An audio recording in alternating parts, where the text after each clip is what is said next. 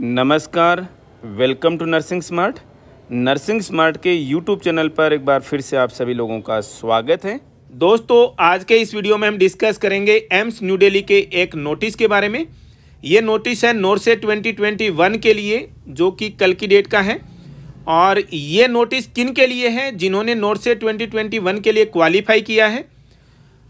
और इस नोटिस के द्वारा क्या कहा गया है कि नोट से 2021 का इस नोट रिज़ल्ट नोटिफिकेशन 198 2021 जो कि 15 दिसंबर 2021 को डिक्लेयर किया गया था nursing officer recruitment common eligibility test के लिए।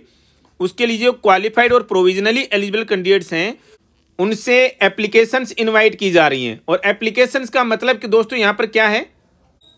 आप जब एप्लीकेशन आप जब इसकी हेडिंग देखते हैं एम्स की वेबसाइट पर, जो कि हमारी नर्सिंग स्मार्ट की वेबसाइट पर भी अवेलेबल है डब्ल्यू पर भी ये नोटिस आपके लिए अवेलेबल है।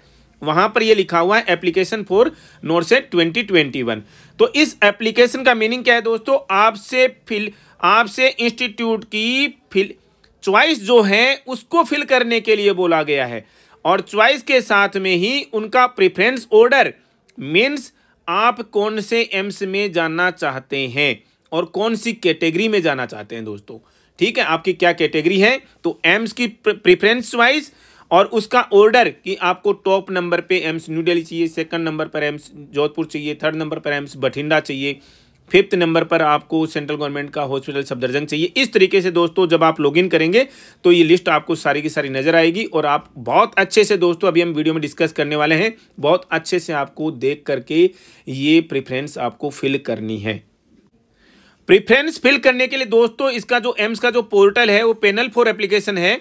वो आज दिनांक चार जनवरी 2022 से लेकर के 10 जनवरी 2022 शाम पाँच बजे तक दोस्तों ओपन रहेगा।